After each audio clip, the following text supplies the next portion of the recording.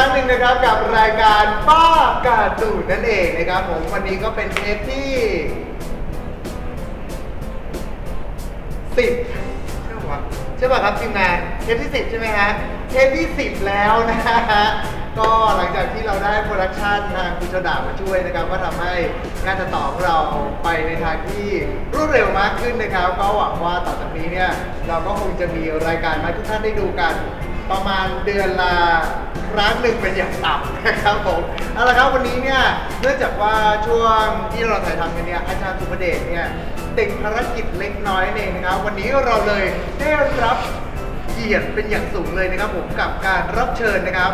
จากทางเว็บไซต์ a k i b a t a n com นะครับ เดี๋ยวขอเสียงปรบมือดังๆให้กับคุณแอดมินแซลมอนสวัสดีค่ะ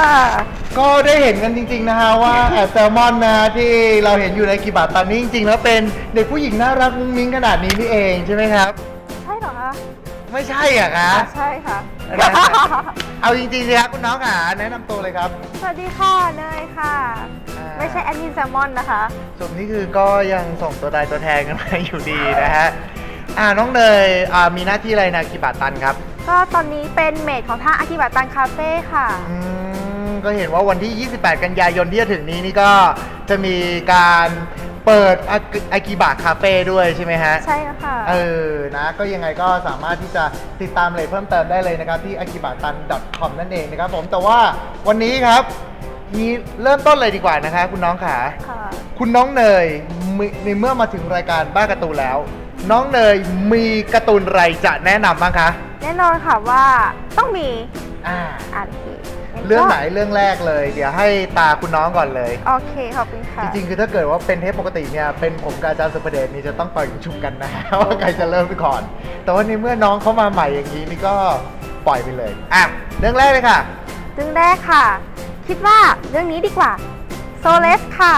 โซเลสอันนี้นี่ดูจากตรงหน้าปกแล้วการ์ตูนไทยสตูดิโอด้วยใช่แสดงว่าเป็นการ์ตูนของคนไทยวาดถูกต้องไหมคะ ใช่แล้วค่ะอืม ค่ะตอเป็นแนวไหนก็อะไรยังไงเอ่ย เป็นแนวแฟนตาซีค่ะ แล้วก็ตอนนี้ออกมาได้สี่เล่มแล้วด้วยอืม อืมวาดโดยคุณซานาเอลค่ะ ซึ่งก็เป็นนักวาดที่ค่อนข้างโด่งดังในโซเชียลเน็ตเวิร์กของไทยตอนนี้ด้วย อ่าจำได้ว่าเขาก็จริง ๆ มีผลงานก่อนหน้านั้นแล้วล่ะ แต่ว่ามาตามผลงานเขาตอนช่วงขุนศึกษาเอ่ยหรือว่าตอนโมเอกทั่วไทยด้วยช่วงนั้นไป แล้วก็เรามาดูดีกว่าค่ะข้างในครัเป็นบ ไง สำหรับตัวเนื้อเรื่องอ่าย่อเป็นยังไงบ้างฮะเนื้อเรื่องย่อนะคะ ก็คือเป็นเกี่ยวกับยมทูตค่ะ ของครับไทยด้วยอืมไม่ใช่บลีสนะ คือถ้าเกิดว่าโอเคพูดถึงโยมทูตเออคนส่วนใหญ่จะชอบนึกถึงบลีชบ้าง หรือไม่ก็คือจะต้องเป็นแบบว่าอะไรนะ สวมเออเป็นผ้าคลุมสีดำๆถือเคียวมา แต่ถ้าเกิดของไทย ถ้าเกิดว่าหลักๆ เราก็จะนึกกันถึงสุวรรณสุวานอะไรอย่างนี้ ใช่ไหมฮะใช่ค่ะ แล้วถ้าเกิดว่าสำหรับเรื่องโซเลสเป็นยังไงอะครับยมทูตค่ะ เป็นยมทูตสาวน้อยน่ารักโมเอะแบบนี้เลยครับผม แล้วนอกจากนั้นก็คือเป็นแนวแฟนตาซีค่ะ แล้วก็มีอืม แอคชั่นด้วย อืม โดยที่เนื้อเรื่องหลักเนี่ยค่ะเอิ่มตัวเอกจะเป็นพระเอกของเราซึ่งเป็นตัวเรื่องยังไม่เฉลยโปร่งมา แต่คิดว่าน่าจะเป็นครึ่งมนุษย์กับยมทูตนะคะอ่าฮะ อ่าเพราะฉะนั้นก็นางเอกของเราชื่อว่านภัสค่ะ ครับผม โดยก็คือในเรื่องเนี่ยเอ่อเป็นเหมือนโลกของยมทูตด้วย ครับ ก็คืออันนี้อันนี้เคยได้อ่านมาคร่าวๆเหมือนกัน ก็จะเป็นลักษณะเหมือนกับว่าอะไรนะ เป็นเรื่องของการปราบผีใช่หลักๆก็คือการปราบผีนั่นเอง แต่ว่าตัวเนื้อเรื่องนี่จะเซตอยู่ที่เชียงใหม่ใช่ไหมฮะ ใช่ค่ะ แล้วก็ถือว่าทำออกมาได้ค่อนข้างดี เพราะว่า เป็นลักษณะของการที่พอเขียนเป็นลักษณะการ์ตูนไทยปุ๊บเนี่ยบางทีเราจะชอบเจอเนื้อเรื่องที่ดูแล้วแบบเหมือนแค่เปลี่ยนอะไรนะบริบทยังเป็นลักษณะของญี่ปุ่น แต่แค่เปลี่ยนชื่อตัวละครเป็นภาษาไทย แต่ว่าในขณะเดียวกันเรื่องนี้ก็จะมีเรื่องการปลูกฝังความเชื่อต่างๆของแนวไทยๆลงไปในเนื้อเรื่องด้วย แล้วก็ทำออกมาเป็นลักษณะของ หลักๆก็คือจะเป็นเรื่องของโยมทูตปราบผีนั่นแหละใช่ค่ะแล้วนอกจากนี้คือที่ประทับใจอย่างคือ จะเป็นแบบว่าตัวละครในเรื่องเนี่ยแบบว่าใส่เหมือนชุดไทยเป็นครับวัฒนธรรมของไทยด้วย เพราะฉะนั้นก็เลยคิดว่านำมาปรับใช้ได้น่ารักมากด้วยค่ะอืมก็สำหรับเรื่องนี้เองจริง ๆ ก็นั่งอ่านได้สักพักหนึ่งอยู่เหมือนกันนะฮะตอนที่น้องเนยเอามาแนะนำให้ดูเนี่ยแหละ ก็ ตัวเรื่องถือว่าอย่างที่น้องเนยว่าคือเป็นลักษณะการปรับวัฒนธรรมไทยออกมาอยู่ในหนังสือการ์ตูนได้เรียกต้องเรียกนะฮะว่าลงตัวมาก แล้วก็ในมุมกลับกันนี่ก็คือจะปลูกใส่ทั้งเรื่องของอความเชื่อใส่เรื่องของผีต่างๆ ที่เป็นของไทยกันเองด้วย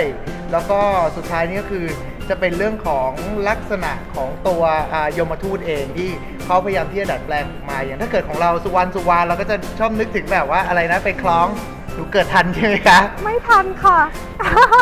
ใจร้ายที่สุดนะแหคะมแล้วก็ส่วนของตัวคือเหมือนกับเป็นการผูกออกมาเข้าออกมาได้อย่างลงตัวนั่นเองสำหรับตอนนี้นี่ก็คือออกมาทั้งหมดกี่เล่มแล้วนะคะสี่เล่มค่ะสี่เล่มนะฮะโดยทาง การ์ตูนไทยสตูดิโอหรือว่าทางสยามอินเตอร์คอมิกนั่นเองนะครับ ก็ถ้าเกิดว่าใครสนใจก็ลองเข้าไปอ่านกันได้นะฮะหรือว่าแล้วสำหรับเรื่องนี้เองนี่ทางน้องเนยคิดว่ายังไงบ้าง อะไรคือจุดเด่นที่ทำให้ทางผู้ชมรายการของเราน่าจะหันมาอ่านเลยค่ะ อย่างแรกเลยคือเป็นการ์ตูนไทยค่ะ และคิดว่าบางคนเนี่ยน่าจะยังไม่เคยอ่านกันก็หยิบขึ้นมาแนะนำเฮ้ยแต่ส่วนใหญ่เวลาเขาบอกว่าเป็นการ์ตูนไทยเสร็จปุ๊บนะ ชอบมีแต่คนอธิเออชอบมีคนแบบโปรโมทว่าเฮ้ยเราเป็นคนไทยเราต้องอ่านหนังสือการ์ตูนไทยด้วยกันเองอะ่ะไอ้อย่างนั้นพี่ว่ามันน่าเบื่อ มันมีอะไรบ้างที่แบบว่า เฮ้ยเราต้องอ่านมันเลย อืมคืออย่างแรกเลยคือ เป็นการ์ตูนไทยอันเรื่องหนึ่งครับแต่ที่สำคัญเลยคือว่าเป็นการ์ตูนไทยที่คิดว่าเขียนได้ดีเรื่องหนึ่งนะคะ ครับแล้วก็ลายเส้นสวยด้วยอืมที่คิดว่าบางคนคิดว่าการ์ตูนไทยน่าจะแบบเส้นไม่สวยงั้นอืมๆแต่เรื่องนี้นะคะ ยอมให้เลย ก็เลยว่าสมควรที่จะหามาอ่านกันจริงครับผมก็ตอนนี้นะฮะออกมาอย่างที่น้องเนยว่านะสี่เล่มแล้ว จากตอนแรกราคา 45 บาทนะครับ ตอนนี้เล่มล่าสุด50 บาทไปเรียบร้อยแล้วนะครับๆเดี๋ยวนี้การ์ตูน 45 บาทก็หายากขึ้นเรื่อยๆนะคะใช่ไหมอืมสมัยก่อนพี่ยังเกิดทันนะการ์ตูนเล่มละ15 บาท โอ้โหอะ ก็โอเคครับจบจากตาน้องเนยนะครับ ก็มาที่ตาผมกันบ้างเลยนะครับ กับเรื่องนี้เลยนะฮะไอจินนี่สำหรับชื่อภาษาไทยของไอจินคือ สายพันธุ์อะมนุษย์นั่นเองให้เห็นกันสดๆไปเลยนะคะว่าได้มีการเปิดอ่านกันนะครับสำหรับเรื่องนี้นะฮะก็จะแต่งโดยนะครับผมคุณซุยนะนะครับมุยระแล้วก็สำหรับคนวาดนี่คือจะเป็นคุณกามอน ซาคุราอินั่นเองนะครับผมสำหรับเรื่องนี้เนี่ยก็จะพูดถึงเรื่องของโลกที่เป็นยุคปัจจุบันอย่างนี้ยแหละครับ แต่ว่าสำหรับตัวโลกใบนี้เนี่ยจะมีสิ่งมีชีวิตอีกสิ่งหนึ่งที่เรียกว่าไอจิน หรือว่าอะมนุษย์นั่นเอง โดยสำหรับคนที่เป็นอะมนุษย์เองเนี่ยก็จะมีความสามารถพิเศษอย่างหนึ่งเลย นั่นก็คือจะเป็นอมตะ นะแล้วหลังจากที่เขาเป็นอมตะเนี่ยดังนั้นเนี่ย รัฐบาลก็จะมีการประกาศว่าถ้าเกิดว่าใครเจอไอตัวไอจินนี่นะ ให้ทางทิ้งเลย ให้จับให้จับมาอ่าเขาจะมีเงินรางวัลให้อะไรให้ โดยที่สำหรับตัวไอจินเองเนี่ยนอกหลังจากโดนจับไปแล้วเนี่ยก็คือจะโดนเอาไปทดลองต่างๆ ดังนั้นเนี่ยเรื่องนี้ก็คือจะเป็นเรื่องราวที่พูดถึงโลกที่มีคนที่เป็นเหมือนกับสายพันธุ์อมตะอยู่นั่นเองนะครับ แต่ว่าไม่ใช่แบบเป็นแวมไพร์ไม่ใช่เป็นซอมบี้อะไรอย่างนี้นะ แต่ว่าเป็นเหมือนมนุษย์อีกอาเผ่าพันธุ์หนึ่งไปเลยทำไมนึกถึงแบบตกตระกูลขึ้นมาคะ คล้ายๆตัวเกียนกูใช่ไหมคะแต่ว่าสำหรับเรื่องนี้เองเนี่ยจะมีปมอยู่ที่ว่าคนที่เป็นไอจินเนี่ยเขาจะไม่รู้ตัวว่าเขาเป็นไอจินหรือเปล่า จนกว่าจะตายสักครั้งหนึ่ง จนกว่าจะโดนอ๋ออ อะไรสักครั้งหนึ่งอย่างพระเอกของเราเนี่ย ก็จะนั่นเหมือนกันชื่อนากาอิ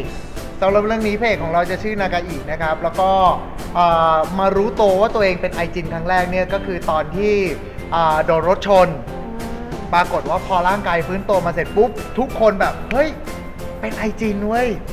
ต้องจับสุดท้ายก็เลยต้องหนี แต่ว่าก็โชคดีที่ว่ามีเพื่อนที่คบกันมาตั้งแต่ตอนเด็ก ๆ เนี่ย คอยช่วยเหลือด้วยอะไรด้วย แล้วก็ไปพัวพันกับกลุ่มที่เป็น กลุ่มพวกไอจินกลุ่มอื่นเป็นสังคมๆเป็นสังคมของเขาที่ว่าเขาพยายามที่จะเรียกร้องสิทธิ์ หรือว่าเขาเองเขาพยายามที่จะอ่าต่อสู้กับรัฐบาล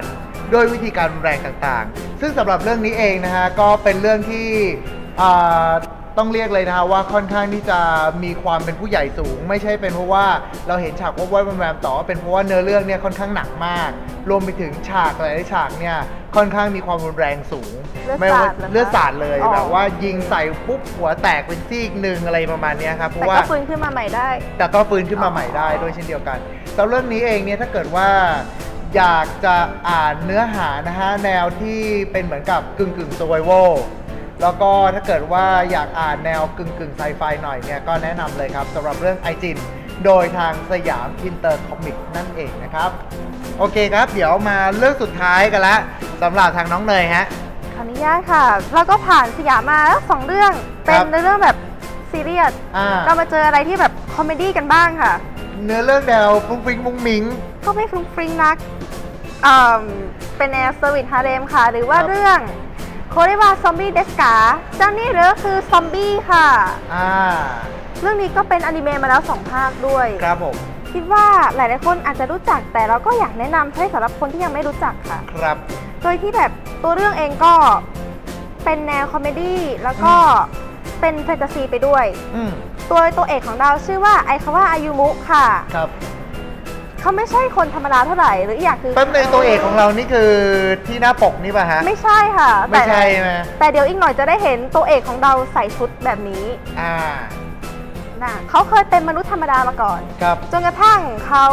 ไปเจอกับสาวน้อยน่ารักคนหนึ่งอ่า ที่ไม่พูด เขาก็ไปทักทาย แล้วก็อ้าวไม่ตอบเขาก็อ้าวแห้วและเดินกลับบ้าน จากนั้นค่ะ เขาก็เข้าไปพัวพันกับคดีฆาตกรรม เขาก็เลยตาย แล้วรู้ตัวอีกทีเขาก็กลายเป็นซอมบี้ด้วยสาวเงียบคนนั้น เขาคือเนโครแมนเซอร์ค่ะ อ๋อ ก็คือแป๊บนึงกลายเป็นซอมบี้นี่คือ มาแบบว่าค่ะตัวม่วงๆมาเลยไม่ใช่ไม่ใช่ตัวเทาๆมาเลยหรือเป็นเปล่าเหมือคะนปกติเลยแค่แบบว่าบาดแผลหายเร็วออกแรงได้เยอะกว่าคนปกติค่ะอืมนับเป็นซอมบี้จริงๆเหรอคะเขาเรียกว่าเขาเรียกตัวเองว่าเป็นซอมบี้อ๋อผมเป็นซอมบี้ครับอ่าอะแล้วจากนั้นเขาไม่ได้เป็นแค่ซอมบี้อย่างเดียวครับโชคชะตาเล่นตลกกับเขาอีกครับเขาก็ไปพบกับสาวน้อยอาพรเวทก็คือพวกสายสาวน้อยเวทมนต์ธรรมดาเอง และในที่สุดพระเอกก็กลายเป็นสาวน้อยเวทมนต์อ่า แล้วก็เป็นซอมบี้ด้วยอะแป๊บหนึ่งนะแป๊บหนึ่งนะคะน้องเนยค่ะ ค่ะ พระเอกก็ใช่คือค่ะ ตัวละครชาย ใช่เป็นทั้งซอมบี้ซอมบี้และสาวน้อยเวและทสาวมน้อนยเวต์ทมนต์ในขณะที่ยังเป็นผู้ชายอยู่ใช่แล้ว นะฮะแล้วมันจะเป็นอะไรอีกไหมเนี่ย เอ่อเท่าที่เห็นยังไม่มีค่ะ แล้วสรุปเรื่องนี้มันเกี่ยวข้องกับอะไรคะ เป็นแนวคอมเมดี้ซึ่งก็ส่วนใหญ่เลยจะเกี่ยวกับเอ่อนางเอกหรือนางรองเราก็ไม่ทราบค่ะ เพราะว่าครับสองคนเนี้ยแล้วแต่คนจะอวยให้ใครเป็นนางเอก แต่เล่มหนึ่งอ๋อ เล่มหนึ่งสอนอะไรไม่มนต์ได้ขึ้นปกก็ไม่รู้เหมือนกัน ค่ะ ก็คือจะเป็นเรื่องของในคอมเมนเซอร์ที่ชุบชีวิตพระเอกขึ้นมา ค่ะ ซึ่งเขาก็มีความหลังมากมาย พระเอกก็ต้องแบบชอยช่วยดูแลปักธงไปเรื่อยค่ะ ๆก็เป็นนาฮาเร็มด้วย ค่ะ ถ้าเกิดว่าพูดถึงแนวฮาเลมก็แสดงว่าต้องมีตัวละครอื่นอีก ใช่เยอะแยะนะคะ แล้วสรุปจุดเด่นเรื่องนี้คือ จุดเด่นเรื่องนี้ก็ความฮาความบ้า ความเสื่อม นิดนึงพูดง่ายๆคือเป็นเหมือนเป็นแนวสกูไลฟ์ใช่แนวเดลี่ไลฟ์อะไรอย่างนี้ไปอืมแต่ก็จะมีช่วงซีเรียสอยู่บ้างค่ะ ไม่ต้องห่วงอ๋อครับผมลองไปหาอ่านก็ได้นะครับ กับเรื่องที่มีชื่อว่า เจ้านี่เหรอซอมบี้อ่านั่นเองนะครับผม มาสำหรับเรื่องสุดท้ายของเราในวันนี้กันบ้างดีกว่า หลังจากที่ครึ่งแรกของเรานี่ก็อาจจะออกแนวหนักๆกันนิดนึงนะฮะก็เดี๋ยวมาครึ่งหลังกันบ้างตะกี้นี้ทางน้องเนยมาแนวตาติ้งโหน่งไปแล้วอ่าของพี่ตาติ้งโหน่งกันบ้างดีกว่าอีกเรื่องหนึ่งนะครับผมนี่เลยนะฮะ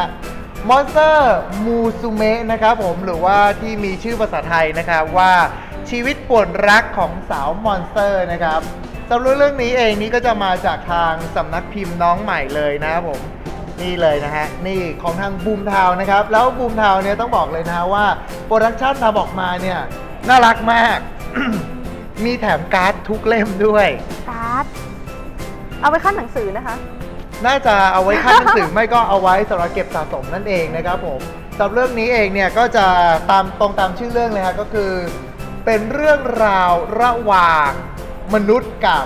ปีศาจสาวน้อยที่เป็นมอนสเตอร์นั่นเองสแล้วตัวนี้เองเนี่ยหลายๆคนอาจจะ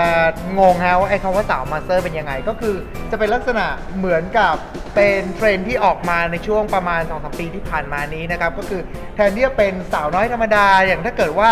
ของคุณน้องเนยตะกี้นี้ก็อาจจะเป็นแบบสาวซึนบ้างใช่สาวเงียบบ้าง สาวโวยวายบ้างอะไรบ้าง แต่นี่ก็จะออกมาเป็นอีกรูปแบบหนึ่งก็คือ ครึ่งคนครึ่งมอนสเตอร์นะครับ อย่าง นางเอกของเราหรือเปล่า อ่า เพราะว่าอ่าเรื่องนี้ก็แนวฮาเรมอีกแล้วนะครับ อย่างที่อยู่บนหน้าปกนี้ก็จะเป็นตัวลาเมียลาหรือเมียลาเมียก็คือจะเป็นครึ่งคนครึ่งงู หรือว่าอาจจะมีตัวละครอื่นอย่างที่เป็นสาวๆที่เป็น harpy ก็คือจะเป็นครึ่งคนครึ่งนก แล้วก็จะมีเซนทอร์คือครึ่งคนครึ่งม้า แล้วสำหรับเรื่องนี้เองเนี่ยถ้าเกิดว่าไปดูถึงตอนหลังๆ ก็จะมีเพียบเลยฮะครึ่งคนครึ่งแมงมุมบ้างเป็นพวกสายอารักเน่หรือว่า จะเป็นพวกครึ่งคนครึ่งมังกร เป็นดากอนิกมาเดี๋ยวจะมีปรณเนี้ยครับแบบทุกประเภท มีมาทุกประเภทเลยอ๋อ แล้วเรื่องนี้นี่ก็คือตรงตามชื่อเรื่องก็คือจะเป็นเรื่องราวของผู้ชายคนหนึ่งที่ได้รับการคัดเลือกให้เหมือนกับเป็นอ่าเป็นเหมือนกับเป็นบ้าน host อ๋อ บ้าน host นี่คือแบบตอนที่เราไปต่างประเทศอ่าอะไรนะไปต่างประเทศอ่า ใช่ไหมฮะแล้วก็ไปอยู่บ้าน host นี่ก็คือเหมือนกับว่าเขาก็จะคอยดูแลรับเลี้ยง เพราะว่าเขาเป็นโลกที่ เหมือนเป็นยุคปัจจุบันนี้อีกแล้วอืมแต่ว่าเขาค้นพบว่ามันมีอีกมิติหนึ่งที่เป็นเหมือนกับมิติที่มีครึ่งคนครึ่งสัตว์อยู่ ดังนั้นก็มีการแลกเปลี่ยนทางด้านวัฒนธรรมกันโอ้โหนะฮะหลังจากมีการแลกเปลี่ยนวัฒนธรรมกันปุ๊บเขาก็โอเคพระเอกมาอย่างนี้อะถ้าอย่างนั้นให้เป็นนั่นละกันให้มาเป็นบ้านโฮสต์ละกันแล้วก็ต้องดูแล เอ่อตัวละครสาวๆมาอ้าวแล้วมีแต่สาวๆที่เป็นครึ่งคนครึ่งสัตว์แล้วหเรื่องนี้อะ นอกจากตัวพระเอกพระเอกแล้วนะฮะ ซึ่งไม่แน่ใจนะเพราะว่าพี่อ่านมาเนี่ย